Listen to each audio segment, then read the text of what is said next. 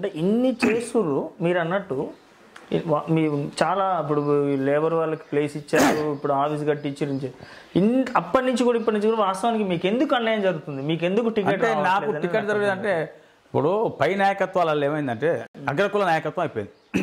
పైన. ఇప్పుడు ఇంకోటి నేను ఒక బీసీని. అసలు ఇప్పుడు యాదవులు బీసీలు ఉమ్మడి నల్గొండ జిల్లా ప్రస్తుతం అంటే రాజకీయ ప్రస్తుతం చెప్తా. కమలమ్మను నకరకల కంచుకోట్ల కమలమ్మను ఎమ్మెల్యే గెలిపించారు ఒక యాదవ్ ఆమె గెలిచింది హైదరాబాద్ బేస్డ్ అయింది తప్ప నకరకల్ రాలేదు నల్గొండ జిల్లా రాలేదు ఒక బీసీని పట్టించుకోవాలి ఒక యాదవ్ని పట్టించుకోవాలి గుణవేణ రామూర్తి గారిని ఎమ్మెల్యే చేసారు జాన్ రెడ్డి గారి మీద. ఆయన వచ్చి ఏబీసీని పట్టించుకున్నారు? ఆయన పట్టించుకోలే. అంజలింగ యాదవ్ గారు మాధవరెడ్డి గారి మీద పోటీ చేసి స్వల్ప వ్యక్తిలో ఓడిపోయాడు. మళ్ళీ ఓడిపోయినాక పాపం రాజకీయాలకు వచ్చే ఆల్టర్నేటివ్ లేదు ఇంకోటి. ఈ ఉమ్మడి నల్గొండ జిల్లా రాజకీయాలలో ఒకసారి ఎస్సీ కానీ బీసీ కానీ ఒకసారి ఎమ్మెల్యే అయితే ఇంకో రెండు సార్లు టికెట్ వచ్చే పరిస్థితి రానేలేదు ఈ నాయకత్వం అగ్రకుల నాయకత్వం. కాంగ్రెస్ పార్టీ. కాంగ్రెస్ పార్టీలనే. ఎందుకు అంటే ఇప్పుడు వెంకయ్య గారు ఉండు ఓసారి ఎమ్మెల్యే. నెక్స్ట్ టైం ఆయన ఢిల్లీ మిషన్ ఆయన కర్మ. దోస్పాటి గోపాల్ ఉండు ఒకసారి ఎమ్మెల్యే ఉండు. సెకండ్ టైం ఎస్సీ ఉంది. గోపాల్ గారిని కాదని వెంకయ్య సపోర్ట్ ఇచ్చిన మాట వాస్తవం. కానీ మరి ఇప్పుడు రెండోసారి అప్పర్ క్యాస్ట్ ఎమ్మెల్యేకు సిట్టింగ్ అని ఇచ్చినాక ఒక మాదిగ ఎమ్మెల్యేకి ఎందుకు ఇవ్వకూడదు ఒకటి కొమ్ముపాపే గారు రావణపేట గెలిచింది మళ్ళీ రెండోసారి కొంపాపే గారు మరి బీసీనే కదా? ఒకప్పుడు మంత్రి చేసింది కదా. మరి కొంపాపే గారిని వదిలిపెట్టి పురుషోత్తర రెడ్డి గారికి ఇచ్చేది ఏంది? పురుషోత్తర రెడ్డి గారు నా గురువే. అంటే చెప్తాను నాయకత్వాల విమర్శన నేను. వాళ్ళ కింద నేను పనిచేసిన బీసీ నాయకుని కాడికి ఒకసారి గెలవగానే వాడిని కట్ చేస్తారు. రెండోసారి ఆయనకి ఇస్తలే. అదే మరి ఇప్పుడు అగ్రకులాల కాడికి వస్తే ఓడిపోయినా ఆయన సిట్టింగ్ గెలిస్తే సిట్టింగ్ ఎమ్మెల్యే. ఓడిపోతే వాళ్ళ సిట్టింగ్ ఇంకోటి అది కాలేని పరిస్థితి. ఇప్పుడు ఇదే ఇప్పుడు ఉమ్మడి జిల్లాలో మొత్తం యాభై నుంచి మీరు కలెక్ట్ చేయది ఎమ్మెల్యే రెండు సార్లు గెలిచిన వాళ్ళు ఎవరున్నారు? కాంగ్రెస్లో? ఏదో మొన్న పరిస్థితుల్లో ప్రత్యేక పరిస్థితుల్లో చెరుకు సుధాకర్కి వస్తుంటే ఏదో వాళ్ళు కా కొట్లాడి ఏదో చిరుమర్తలింగయ్యకు ఏదో చేసారు తర్వాత ఆయన కాంగ్రెస్ పార్టీని ముందు మీదనే ఆయన పార్టీ వెళ్ళిపోయిండు. అట్లా అట్లా అయితే కాబట్టి నాయక ఇక పై నాయకత్వంలో పైన డి శ్రీనివాస్ బీసీ నాయకుడు. డి శ్రీనివాస్ బీసీ నాయకుడు వైసాప్ నీకు ఎన్ని ముచ్చట్లేదు నీకు ఏం కావాలి నువ్వు సపరేట్ కూర్చో నువ్వు మన జిల్లాలకి కాలు పెట్టకని రాజశేఖర రెడ్డి అంటే ఆయన నువ్వు కాదని కాలు పెట్టే ధైర్యం ఉంది ఆయనకు? కేశవరావు గారు రాజశేఖర రెడ్డి గారిని కాదని కాలు పెట్టే ధైర్యం ఉందా? కాబట్టి మన పై నాయకత్వంలో మాకు బలైన వర్గాల నాయకుడు అని ఉంటే మమ్మల్ని ప్రమోట్ చేయొద్దు. మాకు ఎవరు లేడు శ్రీనివాసరావు చెప్పి మా వ్యవహారం నడిచింది. జనపాలయ్య గారు కూడా చెక్లం శ్రీనివాసరావు పట్టుకొని ఢిల్లీ పోయి టికెట్ తెచ్చినాను ఇప్పుడు జనపాలయ్య గారు లైవ్లో ఉండి అడిగినా అదే ఉంటుంది. అని ఇప్పుడు వచ్చే ఇప్పుడు వస్తే తండు శ్రీని యాదవ్ గారు ఎవరు ముఖ్యమైన అనుచరులు? ఎవరంటే? ఇప్పుడు ఏమొస్తుంది అంటే కోమటిరెడ్డి వెంకటరెడ్డా అండ్ ఉత్తమ్ కుమార్ రెడ్డా లేకపోతే దామోదర్ రెడ్డా రేవంత్ రెడ్డా. అని నేను బా బేసికల్గా అంటే స్టార్టింగ్లో మీరు ఒక పాయింట్ చెప్పారు. మీరు ఫస్ట్లో మీకు అనుచరులు అని చెప్పారు కదా. ప్రజెంట్ ఎవరు? నాకు ఒక పేరు తెలిసింది. తప్పది. అది నేను ఇంకోటి ఇప్పుడు ఎవ్వరు అంచరని కాదు. నేను only loyalist of Congress party. ఇంకోటి ఎందుకంటే వెంకరెడ్డి గారు నేను యూత్ కాంగ్రెస్ కలిసి చేసినాం. వెంకరెడ్డి గారు ఎమ్మెల్యే చేసిండు మంత్రి చేసిండు ఆయన పెద్ద పొజిషన్ ఉండు. నాకంటే పెద్ద పొజిషన్ ఉండు. అయినా వెంకరెడ్డి గారు కూడా నన్ను ఒక బ్రదర్గా చూస్తాడు. ఉత్తమ్ కుమార్ రెడ్డి గారు. ఫస్ట్ సారి కాంటాక్ట్ చేసిండు. ఉత్తమ్ కుమార్ రెడ్డి గారు ఫస్ట్ సారి కాంటాక్ట్ చేసిండు. కాంటాక్ట్ చేసినప్పుడు ఆయన కోసం చాలా లోకేందర్ రెడ్డి గారు అని చెప్పి అలా మేనమామ అప్పుడు నల్గొండ టౌన్ ప్రెసిడెంట్ ఉండే. చెక్లన్ శ్రీనివాసరావు నాకు కల్పిస్తే ఐదు సంవత్సరాలు ఆయన బట్టి పనిచేసినాం ఆయన ఓడిపోయాను ఓడిపోయిన ప్రతి కేసులో నేను ఉన్నప్పుడు మా ల్యాండ్ లైన్ ఫోన్ సెల్లు చేసారు ఆరు సంవత్సరాలు ఉత్తమ్ కుమార్ రెడ్డి గారు ఉన్నా ఆయన దగ్గర పోయిన నా గురువాన్లే నా దోస్తు అని చెప్పలే. ఏదో కట్టసిగా పోయి కలిసేది. ప్లస్ ఇలా పీసీసీ రేవంత్ రెడ్డి గారు అయ్యాడు. రేవంత్ రెడ్డి గారు ఓన్లీ పీసీసీ ప్రెసిడెంట్ చేసి తప్ప అయ్యా నేను జీ హుజూర్ అని చెప్పి రేవంత్ రెడ్డి గారు నేను నీ శిష్యుని అయితే అనలేను ఎందుకంటే నేను కాంగ్రెస్ పార్టీ విధేయుడిని నాకు కాంగ్రెస్ పార్టీలో గ్రూపులు ఇంకోటి ఇందాక మీకు స్టార్టింగ్ చెప్పిన గ్రూపులు కట్టుకుంటే కాంగ్రెస్ పార్టీ వీక్ అవుతుంది. నేను టికెట్ అప్పుడు కూడా రేపు మళ్ళీ టికెట్ ఎడుతుంది కూడా పోయి నేను డైరెక్ట్ నా అప్పీల్ చేసి నా రెగ్జూమ్ సబ్మిట్ చేస్తా తప్ప నేను ఏదో నాయమంటే ఇంతమంది ఎంపీపీలు ఉన్నారు ఇంతమంది జెడ్పీటీసీలు ఉన్నారు ఇంతమంది కౌన్సిలర్స్ ఉన్నారు అని కాదు. మీరు ఎంక్వైరీ చేసుకోరు. కానీ గ్రూపులు కట్టి కాంగ్రెస్ పార్టీని బలైన పరచాల్సిన అవసరం అయితే నాకు లేదు. ఇప్పుడు కాంగ్రెస్ పార్టీలో గ్రూపులు కట్టి బల ప్రదర్శన చేసే నాయకులు ఎవరు ఎవరు? అంటే అట్లా సిస్టమ్ అంటే తయారైంది. ఇప్పుడు ఇప్పుడు నేను కాంగ్రెస్ పార్టీలో ఫస్ట్ నుంచి ఉన్నా కాబట్టి నా బలం నేను ఉంచుకోవాల్సిన అవసరం లేదు. ఎందుకు అంటే నేను మున్సిపాలిటీ కౌన్సిలర్ చేసిన. నేను బలం లేకుంటే కౌన్సిలర్ కాదు. ఫ్లోర్ లీడర్ చేసిన బలం లేకుంటే కాను. సింగిల్ విండో చైర్మన్ చేసిన ఊర్లలో నన్ను ఆదరించకుంటే కాను. సెంట్రల్ బ్యాంక్ అది ఎన్ని ఆదరించారు కాబట్టి నేను ఇప్పుడు పార్టీలో పదవులు. ఉన్నాయన్నా మీకు పదవులు ఉన్నాయి కాబట్టి మీరు మీకు వాళ్ళు చూపించాలి కదా బల ప్రదర్శనే కదా. కొత్తగా వచ్చి రిక్రూట్ అయ్యి మాకు ఇది కావాలంటూ వాళ్ళు చూసుకోవాలి కానీ నాకైతే అవసరం లేదు. నేను కూడా తొంభై మూడులో నేను సూర్యాపేట సింగిల్ విండో చే- ఇది ఒకటి వినాలి మీరు. సింగిల్ విండో చైర్మన్ చేసేటప్పుడు ఉప్పల్ రంగారెడ్డి గారు లక్కరాజు పాండు నజీముద్దీన్. సింగిల్ విండో చైర్మన్కి దరఖాస్తు పెట్టుకోరు. ఇప్పుడు లక్కరాజు పాండే గారు ఉన్నారు నజీముద్దీన్ గారు చచ్చిపోయారు రంగారెడ్డి గారు పార్టీకి దరఖాస్తు పెట్టుకోరు. కాంగ్రెస్ పార్టీ ఎప్పుడు ఏంటంటే ఆఫీస్ లేదు. బాంబే డైమ్ హౌస్ ఇందిరా క్లాస్ స్టోర్ ఉండే కానీ విద్యాసాయి రెడ్డి గారు అంటే కూర్చోరు. వీళ్ళందరూ మిగతా నాయకులందరూ పిలిచినాక ఒకటే చెప్పిన రెడ్డి గారు. అప్పుడే నా డిగ్రీ అయిపోయింది. మీకు పిచ్చి లేచింది. బొజ్జ నా కొడుకు సీను వానికి ఎంత దాదాపు ఇరవై సంవత్సరాల లోపు పిల్లగాడు. మనం సింగిల్ విండో చైర్మన్ చేసి సెంట్రల్ బ్యాంక్ చైర్మన్ చేయకుండా డైరెక్టర్ దాకా తీసుకపోతే ఒక ముప్పై ఐదు నుంచి నలభై సంవత్సరాలు ఇప్పుడు కాంగ్రెస్ పార్టీని కాపాడుతాడు. నీకేందన్నా రంగనా నువ్వు ఆల్రెడీ జిల్లా పరిషత్ చైర్మన్ చేసినావు. ఆ, లేదు నేను చేస్తే డీసీసీ ఎన్ని వద్దనా ఇక మనం అయిపోయింది. అప్పటికి మీరు డెబ్బై సంవత్సరాలు మీకు వద్దనా అని చెప్పి వాళ్ళందరూ అపోజ్ చేసి నన్ను సింగిల్ విండో చైర్మన్ గెలిపించింది టీఆర్ఎస్ పార్టీలో ఉన్న బీసీ సామాజిక వర్గం వాళ్ళు మాకు టీఆర్ఎస్ పార్టీలో మంచి న్యాయం జరుగుతుందని అంటున్నారు. మేమంటే ఇప్పుడు న్యాయం అంటే నీకో నాకు జరుగు న్యాయం కాదు. ఇప్పుడు మనం యాభై ఆరు శాతం ఉన్నాం యాభై ఆరు శాతం ఉన్నాం మనమే చెప్పుకుంటున్నాం.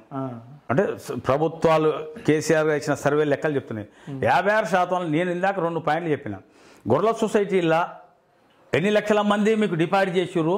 మీరు బహిరంగ చర్చకు రాండి వాళ్ళు ఎన్ని లక్షల మందికి గొర్రెలు ఇచ్చారు బీసీలకు న్యాయం అంటే చెప్తున్నా. మూడు సంవత్సరాల నుంచి డిపాజిట్ చేసిన వాళ్ళకి ఎంతమందికి ఇచ్చారు? అదొకటి. సెంట్రల్ బ్యాంకుల మనకు ప్రాతినిధ్యం ఉండే బి గ్రూపుల నుంచి బీసీలకు ఎస్సీలకు ఎస్టీలకు. ఆ ప్రాతినిధ్యాన్ని మీరు ఊడబెక్కి ప్రాతినిధ్యంగా లేకుండా చేసి బి గ్రూప్ వాళ్ళు లేకుండా చేసింది అది బీసీలకు ఎస్సీ ఎస్టీలకు న్యాయం పేరు నాయకులు ఉండే పరసాపల్లి ఐదు సార్లు వాడు బీసీ అంటే ఈ బి గ్రూప్ నుంచి ఎస్టీ నుంచి డైరెక్టర్ అయిండు ఓ జిల్లా సెంట్రల్ బ్యాంక్ డైరెక్టర్. అంటే అసొంటోళ్ళ గొంతు కోసి ఎస్సీల గొంతు కోసి చర్లపల్లి రంగయ్య ఎస్సీల నుంచి బీసీల నుంచి నేను. ఇట్లా ఇట్లా అయినాం. అంటే ఎస్సీ బీసీ ఎస్టీ పద్మశాల నుంచి దత్త గణేష్ అంతకుముందు ఎక్కడికల్లా కాంటాక్ట్ చేయి. అంటే ఇప్పుడు బి గ్రూప్ వాళ్ళను సెంట్రల్ బ్యాంక్ నుంచి తీసేసినందుకు బీసీలకు న్యాయం జరిగిందా? సెం- బి- ఇప్పుడు గొర్రెల సొసైటీలు మూడు సంవత్సరాల నుంచి పెట్టుకొని ఇప్పటివరకు థర్టీ థర్టీ ఫైవ్ పర్సెంట్ ఇచ్చి బీసీలకు న్యాయం చేసిరా ఉమ్, అనొచ్చు.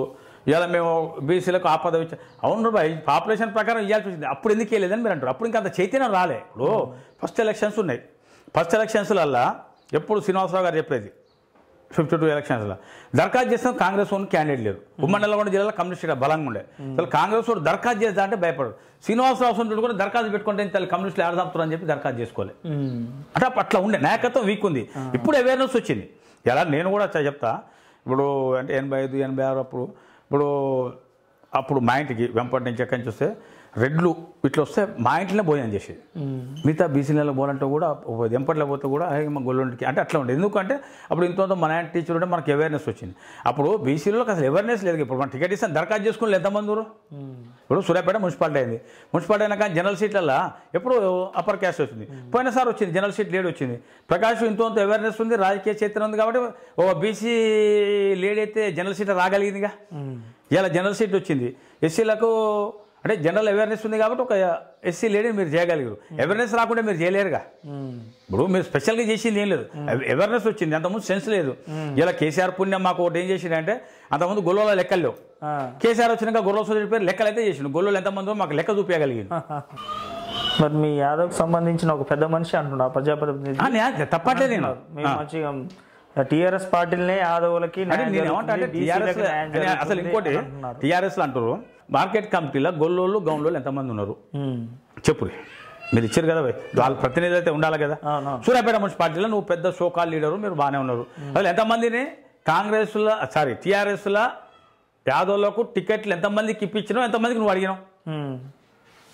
ఇలా టీఆర్ఎస్ నాయకులు నేను చెప్తున్నా పోలబే నర్స్ యాదవ్ అని ఒక ఎక్స్ కౌన్సిలర్ ఉండే.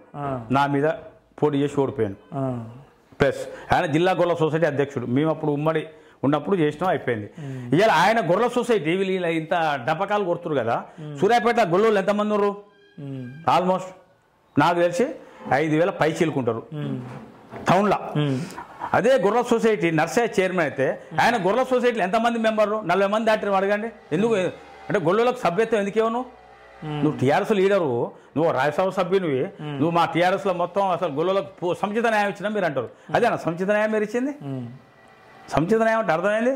ఇప్పుడు అంటే గొర్రెల సొసైటీకి గొల్లోడు మెంబర్ని చేయలేని వాళ్ళు మీరు సముచిత న్యాయం ఇచ్చారు దరఖాస్తు పెడితే అదే టీఆర్ఎస్ పార్టీ నాయకుడు పోయి నాకు సభ్యత్వం అంటే పోయి ఏం బిక్కుంటో బిక్కు పని గొడవలేని వాళ్ళకు. వాళ్ళు ఏం న్యాయం చేసినట్టు? నువ్వు ఒక ఎల్డర్ కూడా నువ్వేం చేయాలి? ఇప్పియాలి వాళ్ళకి సభ్యత్వం. ఇప్పుడు దీన్ని అడుగురి. లింగగారితో అడుగు ఇప్పియమని చెప్పండి. ఇప్పుడు సూర్యాపేట ఐదు వేల పైచలు కూరుబాయి మినిమం ఒక నాలుగు వేల మంది మెంబర్లు కావాలి. చేయమని అలా మేము సంతోషిస్తాం. వాళ్ళకి ఏదో లబ్ధి జరుగుద్దిగా? మరి ఎందుకు చేయలేదు? అయిపోయింది. గోలగట్టు కంప్లీట్ వేసారు సైజులు. వెరీ గుడ్ మంచిగా వేసారు ఇప్పుడు మొన్న మొన్న వేసారు మరి అదేదో మీకు ఇట్లా సిస్టమ్ జరుగుతుంది ఇవన్నీ జరుగుతాయి ఎలక్షన్ కోడ్ వస్తుందని మీకు తెలియదా. మరి వేసేదో ఆవిడ జాతర కంటే ముందేస్తే అందరికి గౌరవం తక్కువ కదా? మీ కులానికి సంబంధించిన పెద్ద మనిషి అంటుండు ఒక మేమేమంటున్నాం అంటే కాంగ్రెస్ పార్టీ ఒక కార్ఖానా. మేము తయారు చేస్తున్నాం. మా శక్తి శ్రమ అన్ని మేము చెమటోడ్చి తయారు చేస్తున్నాక ఎవరు పవర్ పట్టుకుంటే వాళ్ళు పోతున్నారు సో కాల్ కొంతమంది టీఆర్ఎస్ లా ఉన్నారు అనుకో వాళ్ళు ఒకప్పుడు యాదవ్కి సంబంధించి? యాదవ్ సంబంధించిన వాళ్ళు చెప్తున్నా. Suryapet mandal Congress party president Gova Pratap Reddy garu పదహారు సంవత్సరాల నుంచి ఉన్నాడు అని చెప్పి మండల కాంగ్రెస్ ప్రెసిడెంట్ అరే పదహారు సంవత్సరాలు పాతగా పోయి. ఇది మరి బీసీ నాయకత్వం రావాలా లేదా? అని ఒక యాదవ్ నాయకత్వాన్ని తీసుకొచ్చేటందుకు కోసం కూడా మేము ఒక లీడర్ని తీసుకొచ్చి మండల కాంగ్రెస్ పార్టీ అధ్యక్షుని చేసినాం. అలా రెడ్లకు వ్యతిరేకంగా ఎవరు చేయనాడు ఆ సాహసం చేసి వేదా సంఖ్య గారు ఎమ్మెల్యే నీతి విద్యాసాగర్ గారు జిల్లా ప్రెసిడెంట్ ఉన్నప్పుడు ఒక గ్రామస్థాయి లీడర్ గ్రామ స్థాయిలో ఉండే. గ్రామ స్థాయి లీడర్ని తీసుకొచ్చి ఒక మండలకు ఒక దశ దిశ ఒక మండల స్థాయికి వచ్చాక నీకు ఎక్స్పోజర్ వచ్చేది. నువ్వు కాంగ్రెస్ పార్టీలో నువ్వు ఒక మండల స్థాయికి వెనకనే ఎక్స్పోజ్ అయింది తప్ప నువ్వు అలా కనుక మండల స్థాయికి పోకుంటే ఎక్స్పోజర్ కాదు కదా. మిమ్మల్ని తయారు చేసిన కార్ఖానా మాది. బడుగు లింగయ్య గారు రాజకీయ రంగరేయటం కాంగ్రెస్ పార్టీ. తర్వాత తెలుగుదేశం నుంచి లీడర్ అయ్యిండు.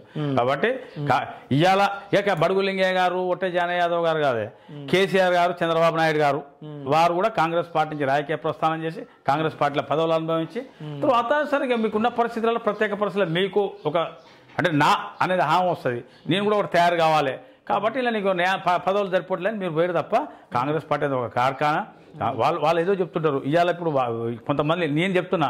తొంభై మూడు తొంభై నాలుగులో గొల్లను అడిగిన లేడు. ఉమ్మడి నల్గొండ జిల్లాలో. ఇవాళ కాంగ్రెస్ పార్టీ నన్ను సింగిల్ విండో చైర్మన్ చేసి జిల్లా డైరెక్టర్ చేసింది. ఎనభై ఐదు ఎనభై ఆరులో? అసలు జిల్లాలో కాంగ్రెస్ పార్టీ ఎవరిని అడిగి ఒక యాదవ్ని అడుగుతలేరు.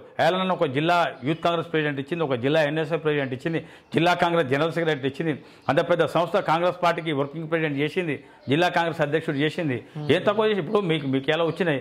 ఇవాళ ఇప్పుడు ఎన్ని నాకు మీకు ఎన్ని సంవత్సరాల వ్యత్యాసం తర్వాత మీకు పదవులు వచ్చినాయి? ఇలా చైతన్యం వచ్చింది. ఇలా చైతన్యం లేని నాడే ఈ ఈ కులం ఇట్లా చేయాలి ఈ కులం పెట్టుకుంటే కాంగ్రెస్కు లాభం జరుగుతుంది ఈ కులాలకి ప్రతినిధిగా ఉండాలి అని చెప్పి అయాలనే కాంగ్రెస్ పార్టీ మమ్మల్ని ప్రమోట్ చేసింది. మేము. ఏదైతే బీటలు వేసినామో ఆ బీటల మీదనే ఇలా టీఆర్ఎస్ పార్టీ తెలుగుదేశం నడుస్తుంది. ఎందుకంటే అలా కాంగ్రెస్ పార్టీ ఒక గొల్లోని కాంక ఎక్స్పోజ్ చేయకుంటే ఒక యాదవ్ లీడర్ కాదు. కాంగ్రెస్ పార్టీ బీసీని ఎక్స్పోజ్ చేయకుంటే ఒక బీసీ లీడర్ తయారయ్యేది కాదు. కాంగ్రెస్ పార్టీ నందేలే అంటూ ఉండి కాంక రాజ్యసభ చేయకుంటే ఆకార సురేష్ రాజ్యసభ టీడీపీ వచ్చేది కాదు. అంటే ఇట్లా మేము వేసిన మెట్లను మమ్మల్ని మీరు కాపీ కొట్టుకుంటే మీరు చేస్తున్నారు ఓకే? ఏది చేసినా మాకు న్యాయం జరుగుతుంది. ఎవరైతే ఒక బీసీ ఒక యాదవ్కు న్యాయం జరిగితే సంతోషిస్తాం. కానీ మీరు గతంలో ఏదైతే మమ్మల్ని విమర్శించుడు కాదు. ఇప్పుడు మీకు అవకాశాలు వచ్చినాయి. మేము మేము ఒక ఎక్స్పోజర్ చేస్తే మీకు ఎందుకు వచ్చింది కొట్లాడుతుంది కాంగ్రెస్ పార్టీ.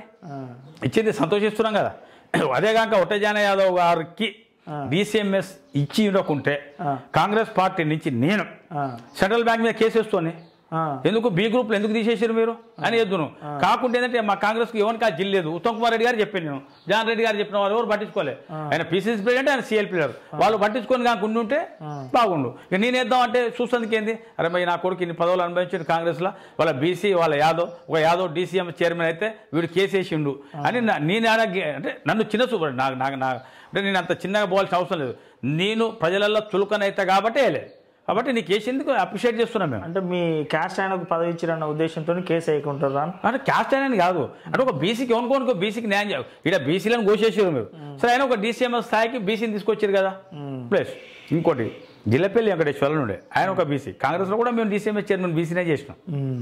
ఇప్పుడు ఏదో టీఆర్ఎస్ రాగానే ఒక బీసీని తీసుకొచ్చి రిక్రూట్ చేయలే. కాంగ్రెస్లో కూడా ఇప్పుడు ఉన్న చైర్మన్ గారి కంటే ముందు మేము ఒక బీసీనే చేసినాం.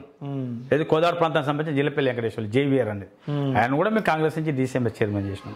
మేము. కాంగ్రెస్ నుంచి కీత లక్ష్మమ్మ గారిని జనరల్ సీట్ కూడా కీత లక్ష్మమ్మ గారిని ఒక బీసీ లీడింగ్ చేస్తున్నాం జిల్లా పరిచయం అంటే కాంగ్రెస్ చరిత్ర చెప్పుకుంటే వాళ్ళు దామరాజ నరసింహ గారిని ఒక ఎస్సీని ఆ రోజులలో ఎస్సీలను ఇళ్ళకి రాని రోజులలో కూడా ఎస్సీని కాంగ్రెస్ పార్టీ ముఖ్యమంత్రి చేసింది. ఎస్సీలను ఇళ్ళకి రాని అన్నాడు కూడా కాంగ్రెస్ పార్టీ రాష్ట్రపతులు ఎస్సీలను చేసింది. అంటే కులాల ప్రస్తావనకు వస్తే టీఆర్ఎస్ వాళ్ళు చెప్పినా టీడీపీ వాళ్ళు చెప్పినా అసలు ఈ దేశానికి ఎస్సీ బీసీలకు ఒక బాట నేర్పింది కాంగ్రెస్ పార్టీ. అంబేద్కర్ గారు ఏదైతే కాంగ్రెస్ పార్టీలో ఉండి అంటే కాంగ్రెస్ నాయకుని కాకుండా ఒక దశ దిశ ఈ విధంగా ఉండాలి. చిన్న రాష్ట్రాలు కావాలి ఎస్సీలు ఎదగాలంటే ఇది కావాలి మైనార్టీలు ఎదగాలంటే ఇది కావాలి బీసీలు ఎదగాలంటే ఇది కావాలని చెప్పి ఏదైతే కాంగ్రెస్ పార్టీలో ఉండి అంబేద్కర్ గారు కొంత రూపకల్పన చేసారో ఆయన ఆదాయంగా తీసుకొని మా కాంగ్రెస్ పార్టీ. ఒక మీరా కుమార్ని తీసుకొచ్చి స్పీకర్ చేసింది అంటే కాంగ్రెస్ పార్టీ అది చేసింది. మీరు ఇలా అన్నీ మర్చిపోయి ఇలా కాంగ్రెస్ పార్టీ ఏమి చేయలేదు అనేది శూన్యం. ఏమైతే అది ఇంకో అంటే ఇక డెప్త్గా పోదలుచుకుంటే అవివేకానికి కిందకి వస్తుంది. ఇప్పుడు నాకు న్యాయం జరిగిందని సంతోషించండి. ఇలా కూడా మేము చెప్తున్నాం. ఇలా సైదులు నాకు బాగా దగ్గర. ఏ పార్టీలు ఉన్నా సైదుకు చైర్మన్ వేసినాం. ఇలా సైదుకు చైర్మన్ వేసి మేము కాంగ్రెస్ గొల్లైనాకి ఇచ్చిన సపోర్ట్లు కొడితే ఎట్లా? మరి ఇప్పుడు జాతరకి ఎందుకు వెళ్ళాను కోడి సైదులో? Election code. అంటే ఎలక్షన్ కోడ్ వస్తుందని మీకు తెలియదా ఎలక్షన్ కోడ్ రాత్రి రాత్రి వచ్చిందా? ఇప్పుడు ఈ రాష్ట్ర మంత్రి ఇక్కడ ప్రాతినిధ్యం ఇస్తుండు ఈ అధికార పార్టీ ఇక్కడ ఉంది. మీకు ఎలక్షన్ కోడ్ వస్తుందని తెలియదా వచ్చింది. ఎలక్షన్ కోడ్లో మరి బ్యానర్లు కట్టొచ్చా? బ్యానర్లు కొడితే తప్పు లేదు. ఎలక్షన్ కోడ్లో అది కూడా నేను కామెంట్ చేసిన. అవి కూడా మీకు కాపీ లాంటి సెలక్షన్ కమిషన్ కాంప్లైంట్ చేసిన. ఇదే కడిపోతే ఎలక్షన్ కోడ్ వచ్చిందని కంపెనీ లేరు. ఎలక్షన్ కోడ్ వచ్చిందని బ్యానర్లు కట్టిందని కూడా కామెంట్ చేసిన. అవునన్నా మరి మీ యాదవ్ వాళ్ళు ఇప్పుడు టీఆర్ఎస్ పార్టీలో ఉన్నప్పుడు టీఆర్ఎస్ పార్టీలో యాదవ్ వాళ్ళు ఉన్నారు కదా గొల్లగట్టి జాతర అంటే యాదవులకు కులదైవం.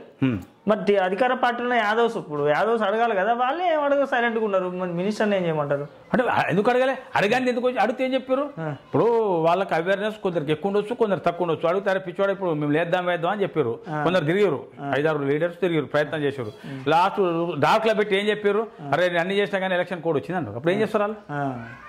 ఇప్పుడు ఇంకోటి ఆ గట్టు మీద ఒక ఎనిమిది నుంచి పది మంది చైర్మన్ చేసిన చరిత్ర నాకుంది. కోడి సోమ్య కాంచి మొదలు పెట్టి చెప్తున్నా. అలా ఇంకోటి. ఇవాళ ఇంకోటి ఎవరు జనం వచ్చాడు ఏంటంటే నేను గొల్లగట్టు మీద వచ్చిన. అసలు ఆ గొల్లగట్టు చరిత్రే మా నైసర్గిక పరిస్థితి. గొల్లగట్టులు ఉంది సౌడమ్మ గంగమ్మ ఎలమంచమ్మ గుడి వెంపటి తండోళ్ళు మా తాతలు కట్టిరు. ఇటు పక్కనున్న లింగమంతుల గుడి మిర్యాల మట్టోళ్ళు మా మేనమామలు కట్టారు. అంటే ఆ గుట్టకు మాకున్న సంబంధం. మేము మమ్మ- మేము బైకానోళ్ళం. గంగమ్మ పండుగలు లింగమంతుల పండుగలు చేస్తాం. ఇప్పుడు ఆ గుట్ట మీద పూజారులం కూడా మేమే. ఆ దేవర కూడా చిట్టాపాల నుంచి మా తండోళ్ళ ఇంటి నుంచి వస్తుంది. మాదే. అంటే చెప్తున్నా. అయినా ఎన్నడూ కూడా నేను ఆ గుడికి చైర్మన్ కాలే డైరెక్టర్ కాలే. వాస్తవంగా ఇప్పుడు మేము ఇప్పుడు నేను కాదు వంశపారంపరంగా మాకుంటుంది. కానీ నేను అందరిని పెట్టి రిమోట్ చేసిన.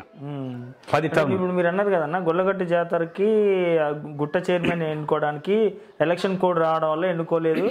కానీ ఫ్లెక్సీలు కట్టిర్రు. మరి అది ఎలక్షన్ కోడ్ విరుద్ధం మీరు సూటిగా అడిగారు కదా? దానికి సంబంధించి అట్లా చూసుకుంటే కాంగ్రెస్ ఫ్లెక్సీలు కూడా ఉన్నాయి కదా ఎవరు? కాంగ్రెస్ వాళ్ళ మీ పార్టీకి సంబంధించిన ఫ్లెక్సీలు కూడా ఉన్నాయి. నేను అనేది ఏంటంటే ఇప్పుడు ఆల్రెడీ నువ్వు ఫస్ట్ కట్టినావు. కట్టే నాట్ ఓన్లీ కాంగ్రెస్. అందరి నేను ఏమంటున్నా అంటే మీరు ఒక తప్పు చేసిర్రు. చూపించుకుంటూ మేము బ్యానర్లు పెట్టినాం. మీరు బ్యానర్లు పెట్టి కూడా ఎలక్షన్ పిటిషన్ ఇచ్చి నేను అందరికి రమేష్ కూడా అందరికి కంప్లైంట్ చేసినాం. కంప్లీట్ చేసి. చేసిన ఎలక్షన్ కమిషన్ కానీ ఎలక్షన్ కమిషన్ డమ్మి.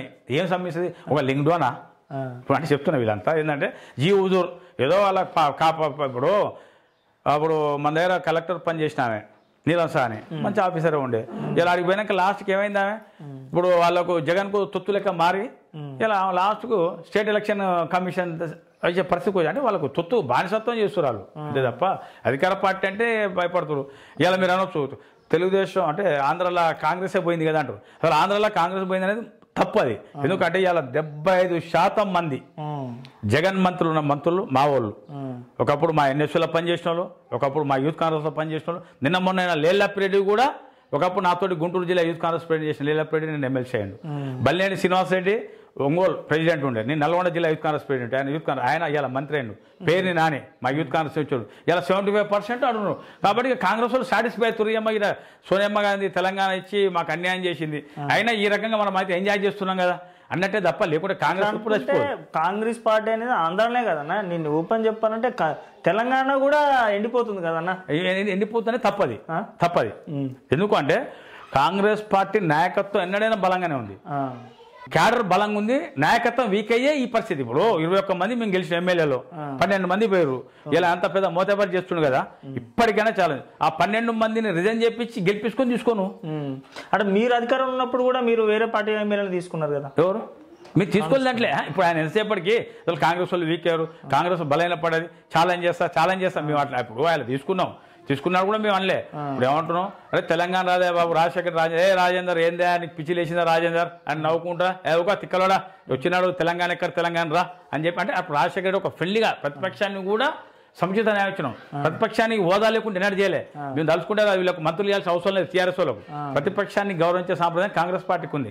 ప్రతిపక్షాన్ని గౌరవించే సాంప్రదాయం లేకుండా ప్రతిపక్షానికి సిఎల్పి హోదా లేకుండా నువ్వు చేయగలిగావు ఆ. అది తప్పు. నేను ఇంటర్వ్యూ స్టార్ట్ అయిన కాంచి మీరు మాట్లాడే విషయంలో ఒకటి బాగా ఒక విషయం మాత్రం బాగా గమనించినాను. మీకు వైఎస్ రాజశేఖర రెడ్డి అంటే బాగా అభిమానం ఉందనిపిస్తుంది నాకు. Hundred percent. ఇప్పుడు షర్మిల గారు కొత్త పార్టీ పెట్టారు కదా ఏమన్నా అంటే అవకాశం వస్తే ఆహ్వానం వస్తే పార్టీ కాదు. వైఎస్ జగన్ గారు కూడా ఇప్పుడు మీరు ఎప్పుడైనా చూస్తే నేను ఫోన్ చేసినా డైరెక్ట్ ఆయన కూడా ఏందన్నా సీనన్న బాగును అనే ఇంటిమేసి ఎందుకు అంటే మాకం అశోక్ కుమార్ అని చెప్పి కడప జిల్లా యూత్ కాంగ్రెస్ ప్రెసిడెంట్ ఉంటే ఆయన రాజశేఖర రెడ్డి పెంపుడు కొడుకు అనేది. ఆయన తోటి బాగా పోయేది రాజశేఖర రెడ్డి గారికి నేను అప్పుడు జిల్లా యూత్ కాంగ్రెస్ నల్గొండ ప్రెసిడెంట్ ఉండే. అట్లా జగన్ కాడికి రెండు మూడు సార్లు బెంగళూరు ఉంటూ కూడా పోయాను. ఈవెన్ షర్మిల కూడా నన్ను గుర్తుపడుతుంది. అయినా మా రాజకీయ గురువు అనుకున్న పురుషోత్తర రెడ్డి గారు కూడా వైఎస్ఆర్ సిపికి పోతే నా ల్యాండ్ లైన్కు పదిహేను రోజులు ఫోన్ చేస్తే లేపలే. తర్వాత వీళ్ళని తీసుకొని పోయినా. పోతే ఏందిరా నాయన సచిన్ అనుకున్నావరా కొడుకు తండ్రి అంటే లేదా అంటే నేను నువ్వు ఏమైనా చేయ నువ్వు తప్పు పొరపాటు చేస్తావు. నేనైతే వైఎస్ఆర్లకు రాను. నీకు చెప్పలేకనే నీకు మాట దాటేసి నీకు గెలవలేదన్న. ఇంకోటి వైఎస్ షర్మిల కాదు రాజశేఖర రెడ్డి గారు సన్నిహితుడు చనిపోయిండు. ఈవెన్ ఇప్పుడు న్యాయమటు ఉండే నా సన్నిహితులు వీళ్ళు పార్టీ పెట్టి అన్న నిన్నే నాయకం చేస్తానా కాంగ్రెస్ పార్టీని వీడే సమస్య లేదు. ఏదో ఊకదంపుడు ఉపన్యాసం కాదు ఏదో మైక్ వచ్చిందిగా మైక్ ముందు కాదు. అంత కాంగ్రెస్ వర్కర్ నేను. ఏంది అసలు? అంత అంత నచ్చింది ఏంది? అసలు ఎందుకు అంత ఎందుకు అంత అభిమానం నేను- ఒక సిస్టమ్ ఏంటంటే ఇప్పుడు నేను బుక్కులు చూపిస్తాను నేను చాలా పుస్తకాలు కాంగ్రెస్ పార్టీ దేశానికి దశను దిశను నేర్పింది కాంగ్రెస్ పార్టీ. ఎందుకంటే మీకు వాస్తవం ఫస్ట్ నుంచి కూడా అసలు మీ పదవులు ఉంటే నాకే మైండ్ బ్లో అయింది. ఇన్ని పదవులు ఇన్ని సేవలు ఇన్ని చేసిరు కానీ ఎమ్మెల్యే టికెట్ వచ్చేసరికి మిమ్మల్ని వెనకని చేస్తారు కదా. ఇంకోటి ఏంటంటే నాకెవరో ఈయన పోటీ ఎన్కన్ చేసిండు ఆయన పోటీ నుండి ఎన్కన్ చేసిండు కదా. ఎప్పుడు బద్దం నరసింహారెడ్డి గారు మాకు ఎక్స్ ఎంపీ ఉండే కాంగ్రెస్ పార్టీ బద్దం నరసింహారెడ్డి. ఆయన ఎప్పుడు అనేది మేరు పర్వతం అంత మేధస్ కన్నా ఆవగింతంత అదృష్టం మిన్న అనేది నాకు అదృష్టం లేదని అనుకుంటా తప్ప నన్ను ఎవ్వడు నాకు ఎవరు పోటీ కాదు. ఇప్పుడు కూడా చెప్తున్నా రేపు నేను ఎమ్మెల్యే టికెట్ అప్పుడు ఈయన పోటీ కాబట్టి నాకు టికెట్ రాదు ఆయన పోటీ కాబట్టి నాకు అదృష్టం ఉంటే ఆ అదృష్టం చేసిన ఇంట్లో పనుకుంటే పది గంటలకు అరికెల నర్సిరెడ్డి ఫోన్ చేసి నీకు ఎమ్మెల్సీ టికెట్ ఇచ్చి ఎంపీ టికెట్ ఇచ్చిన రమ్మని చెప్పారు. కాబట్టి నాకు వచ్చే టైం వస్తే నాకు వస్తుంది. ఇవాళ కూడా ఇంత ముందన్న నేను మీకు అదృష్టం లేదని టికెట్ రా రావట్లేదని అనుకుంటారు కానీ నాకు కాంగ్రెస్ ఎవరు పార్టీ పోటీ అయితే కాదు. కాంగ్రెస్ అదే. పార్టీ అదే. అయితే నిందించే నిందించే నిందించే నాకు. అన్యాయం కూడా చేయలే. నాకు రెండు వేల ఇరవై టికెట్ వస్తుంది నేను ఎమ్మెల్యే పోటీ చేస్తాను ఇంతకుముందు చెప్పిన ఇప్పుడు చెప్తున్నా కాంగ్రెస్ పార్టీ నాకు ఎన్నడూ అన్యాయం మాత్రం రికార్డ్ అన్న? Congress party. నన్నని కూడా కాదు. నమ్మినోనికి ఎవరికి కూడా అన్యాయం చేయలే. కాంగ్రెస్ పార్టీలో ఒకటి ఏంటంటే ఎక్స్పీరియన్స్ అవసరం. ఎందుకు చెప్పనా? విద్యాసాగర్ నేతి విద్యాసాగర్ యాభై మూడు సంవత్సరాలు కొట్టుకుంటే యాభై మూడో సంవత్సరానికి ఆయన ఎమ్మెల్సీ ఆ. యాభై ఎందుకంటే ఈ చిల్లర చిన్న అంటే చిన్న పార్టీలు. తెలుగుదేశం కావచ్చు టీఆర్ఎస్ కావచ్చు ఇరవై సంవత్సరాలు ఇరవై సంవత్సరాలు పదమూడు సంవత్సరాల పాటు. కాంగ్రెస్ పార్టీ నూట ముప్పై ఏడు సంవత్సరాల చరిత్ర గల పార్టీ. కాంగ్రెస్ పార్టీ మంచి నాయకుడు కావాలంటే మెచ్యూరిటీ యాభై ఏళ్ళ తర్వాతనే నాయకత్వం వస్తుంది తప్ప. కొందరు కలిసి వచ్చి కొందరు రావచ్చు కొద్ది రెండు వేల ఇరవై మూడులో మీరు ఖచ్చితంగా ఎమ్మెల్యే అయితే అంటున్నారు కదా. 100%. సూర్యాపేట నుంచి టికెట్ ఇస్తే గెలుస్తారని నమ్మకం ఉందన్న మీకు నేను సూర్యాపేట నుంచి కాదు. గెలవంది అసలు దరఖాస్తు ఏం చేసుకుని నేను? నేను ఏమంటున్నా అంటే గెలుస్తా నేను. పక్క. అంద ఇంకోటి అంటే మీరు అంటే మీరు నేను అడిగే క్వశ్చన్ డైరెక్ట్ ఏంటంటే జగదీష్ రెడ్డి గారికి ఆపోజిట్గా మీరు గెలవగలుగుతారా? అసలు ఇంకోటి అంటే జగదీశ్వర్ రెడ్డి గారికి అపోజిట్ నేను గెలిచింది. జగదీశ్వర్ రెడ్డి అంటే ఏం నాకేం అర్థం కాలేదు. అంటే ప్రజెంట్ అంటే అధికారం అధికారం కదా. ఉండొచ్చు. జగదీశ్వర్ రెడ్డి గారు కాదు. ఇక కేసీఆర్ గారు పోటీ చేసినా కాంగ్రెస్ టికెట్ ఇస్తే నేను గెలుస్తా. జగదీశ్వర్ రెడ్డి ఏంది? Congress party. ఏంది అసలు మాకు కాంగ్రెస్ పార్టీ సంస్థాగతంగా మేము బలంగా ఉన్నాం. సూర్యాపేట టౌన్లో సిక్స్టీ పర్సెంట్ పోల్ ఏంటంటే టౌన్లో సిక్స్టీ పర్సెంట్ కాంగ్రెస్ పార్టీ ఉంటుంది. పెన్మాడ్ మోనోలో Congress party seventy percent Congress party ఉంటుంది. ఆత్మకూరులో ఫిఫ్టీ పర్సెంట్ మేము ఉంటాం. కాంగ్రెస్ పార్టీ ఆడ వీక్ ఉంది. కాకుండా మేము పోగు చేసుకున్న వీకాను కాకుంటే కొన్ని కొన్ని. పోగు చేసుకోలేకపోయినాం. అంతే తప్ప కాంగ్రెస్ పార్టీ వీక్ అనేది లేదు. రెండు వేల ఇరవై నాకు టికెట్ వస్తుంది.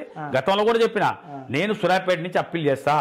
ఏదైనా ప్రత్యేక పరిస్థితుల్లో పార్టీ నాయకత్వం ఇంకొకరిని ఇచ్చింది అనుకో ఆయన అకామిడేట్ చేస్తుంది రెండు వేల ఇరవై మూడులో ఎమ్మెల్యే అవుతాను అంతే తప్ప ఇక జగదీశ్వర రెడ్డి గారు మంత్రి కాబట్టి ఇప్పుడు మంత్రి జగదీశ్వర రెడ్డి గారు. ఇప్పుడు జగదీశ్వర రెడ్డి గారు మంత్రి. ఒప్పుకుందాం.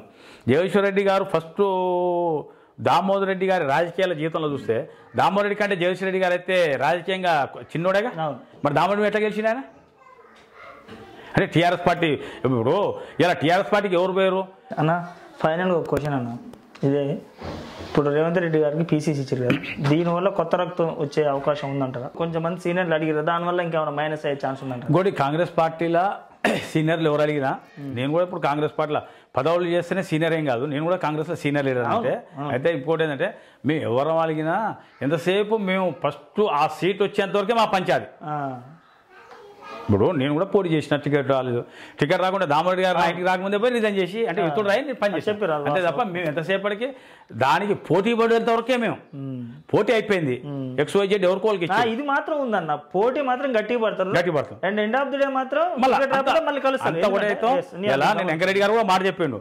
మనకి ఏందా పీసీసీ రాలేదు నాకు ఆవేదన ఆయన చేసిన అయినా పార్టీని ఆడికి పెడతారా? మనకి ఏం అవసరం? అంటే ఇప్పుడు కూడా చెప్తున్నాం. రేపు ఏదైనా పరిస్థితి వచ్చింది. ఇలా రేవంత్ రెడ్డి ఆడికో ఎక్స్ వై కాడికి పోతాడు. పోయినాక టీఆర్ఎస్ వాళ్ళు ఆయన మీద రాళ్ళు రప్పలు వేస్తారు. మేము ఉమ్. మా దగ్గర కూడా మొడి మీద అంతా కొడుకులారు ఎట్లా వేస్తారు అని తెలిసి మా ఊర్లో మేము చేస్తాం. రేవంత్ రెడ్డి కాదు పీసీసీ ప్రెసిడెంట్ గౌరవాన్ని భంగం జరిగితే మేము భరించలేము కాంగ్రెస్ పార్టీ ఉనికి కోసం కాంగ్రెస్ పార్టీ కార్యకర్తలు మూలకున్నాడు కూడా లేచి వస్తాడు. అంతే తప్ప మా దాంట్లో ఎన్ని గ్రూపులు ఉన్నా.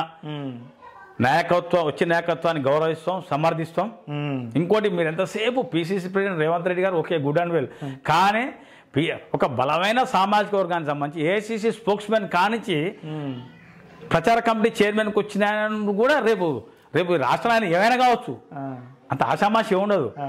మధుయాస్కి గౌడ్ గారు ఎంపీ చేసిన అనుభవం ఉన్నది ఏఎస్సీ సెక్రటరీ చేసిండు.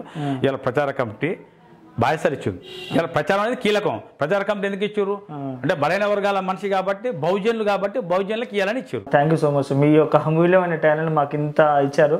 మీరు భవిష్యత్తులో మంచి మంచి పదవులు అత్యున్నత స్థాయికి వెళ్ళి మీ యొక్క సేవల్ని ప్రజలకు అందించాలని మనస్ఫూర్తిగా కోరుకుంటున్నాను? థ్యాంక్ యూ థ్యాంక్ యూ పదవులు కాంగ్రెస్ నుంచి వస్తాయి కాంగ్రెస్ పార్టీ మీద ప్రజలకు సేవ చేస్తారు